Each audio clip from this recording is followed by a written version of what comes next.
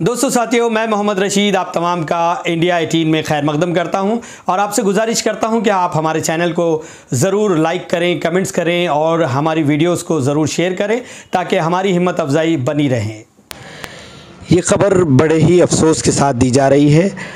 हज़रत मौलाना अलहाज शोफ़ी सैयद शाह इफ्तार मोहुद्दीन ख़ादरी अबुलाई साहब ख़िबला सजदा नशीन मुतवली आस्तान हज़रत पीर जी ख़िबला अबुलाई रहमत पंच मोहल्ला चार मीनार का इंतकाल हो चुका है।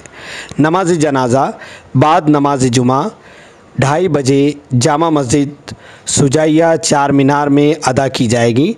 तदफीन आस्तान हज़रत पीर जी ख़िबला अबुलाई रहमत पंच मोहल्ला चार मीनार में अमल में आएगी।